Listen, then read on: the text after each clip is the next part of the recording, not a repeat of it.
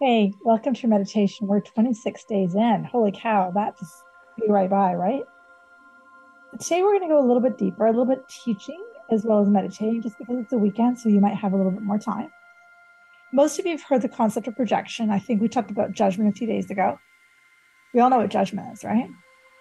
It's the ego's most well known method of creating walls between people and what projection is, is we're taking the stuff that we're denying in ourselves and putting it on other people.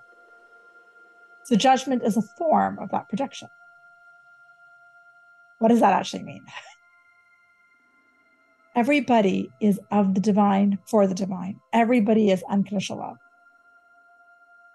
That is your truth to your core. That is your root. That, that is who you were born as.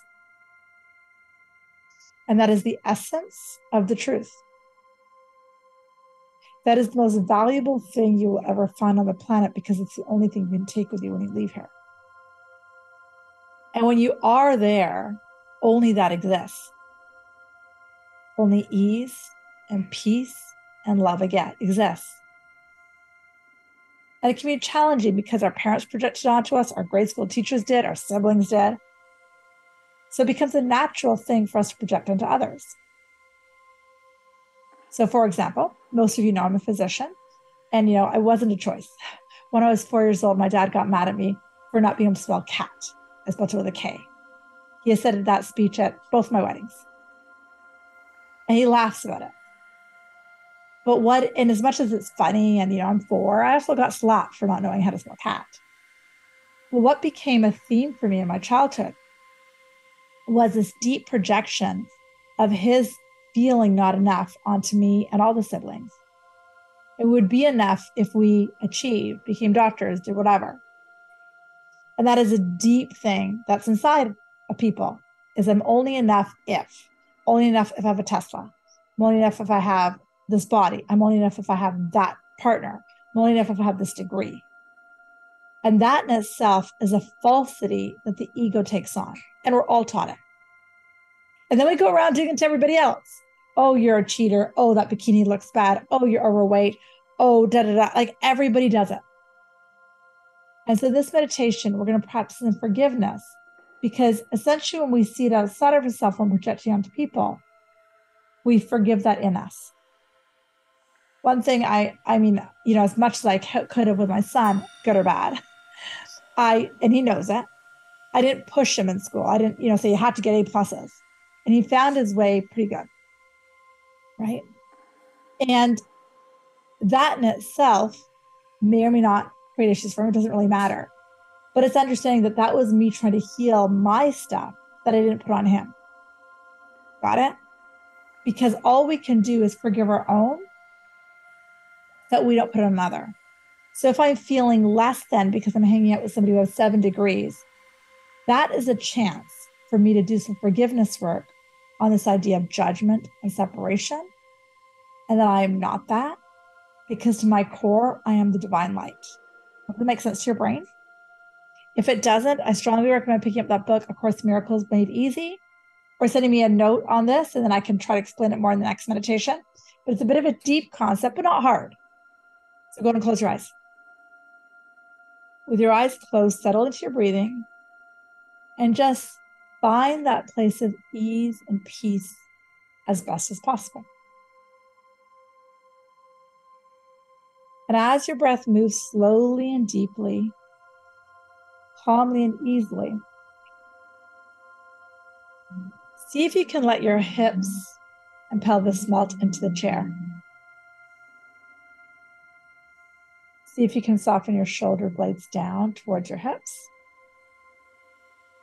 And see if you can stretch the back of your neck and the entire vertebrae up towards the ceiling, growing a half a millimeter taller. And breathe. Taking all the focus outside from the external world and put all in the internal world. Remembering that the external world is a reflection of our thoughts.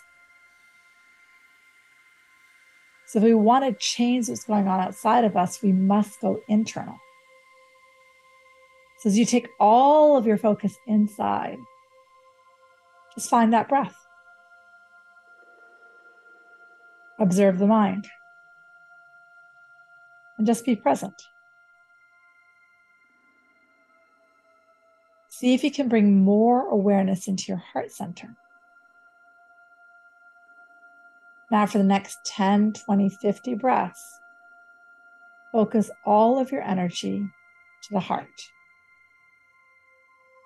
A little visual I love to do is almost imagining that there's a plug connected from my heart up to the heavens. And there's electricity entering that plug, opening my heart, holding love. As my voice gets quiet for the next few minutes, if with each breath, that heart chakra can open one more millimeter, half a millimeter, just with breath.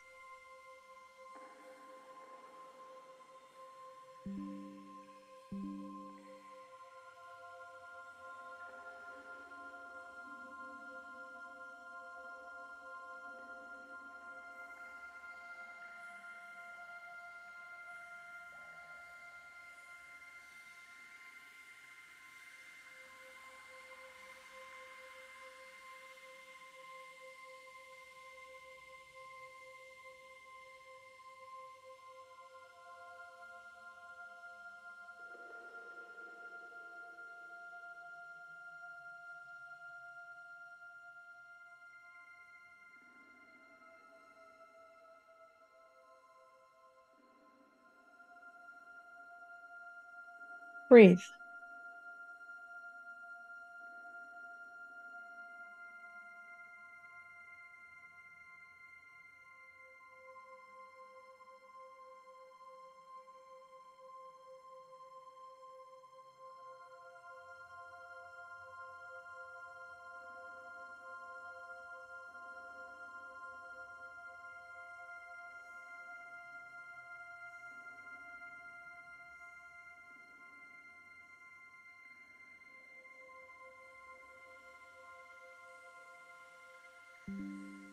If you like that plug out analogy, imagine through this plug, you are connecting with the truth of who you are. Infinite love. Incredible beauty. Strength beyond measure. Infinite abundance, and deep, deep love. And breathe.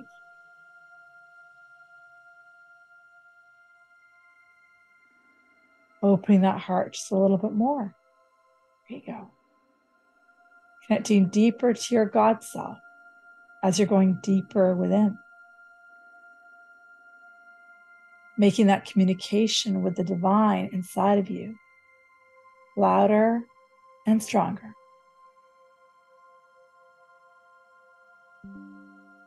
As we go further into this meditation, I would love for you to think of a story that you grew up with from your childhood, like I shared mine.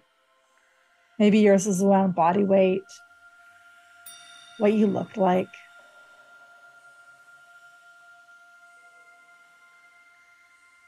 It's a million things we're taught.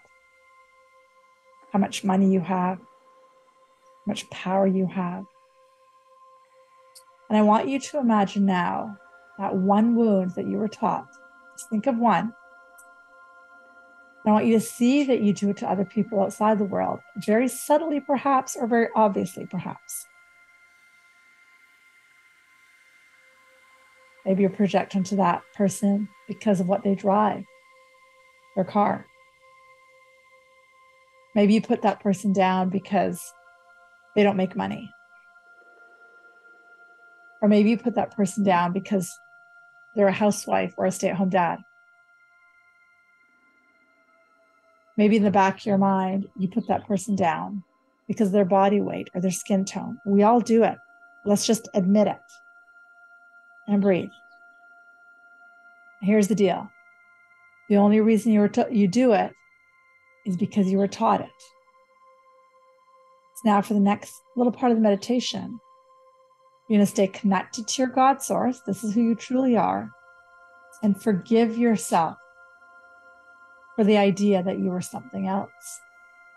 Forgive yourself that this idea that you were a degree.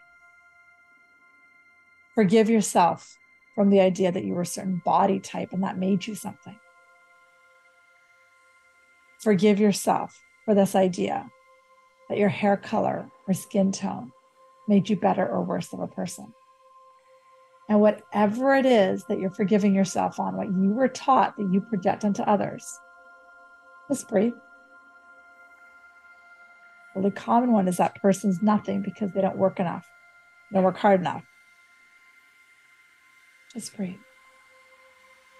Getting some deep time forgiveness for labeling something that was not true, that was not of the God self, of the connection to the plug.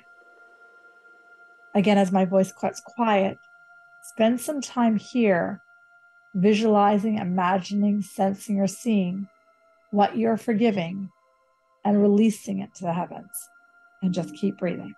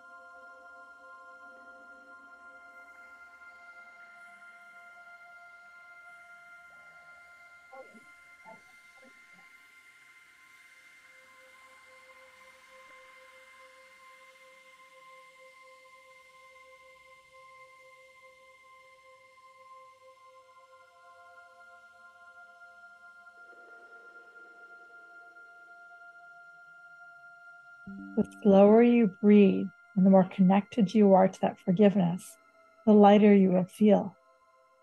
You are literally releasing any thought that you're anything other than this divine I am that you were born of, this God self you are. And the beautiful thing about projection, it gives us fuel for what we were taught that we can forgive ourselves from so we can plug ourselves into the heavens more often. Now, keep that breath slow and deep, calm and easy, fluid and relaxed. You know, I say this almost every meditation. Please stay here longer. This is a deep one, really deep. You may find yourself triggered from things outside of you now. You're more aware.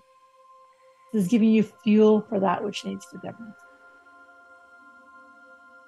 Again, stay here longer if you can. Remember, the inner world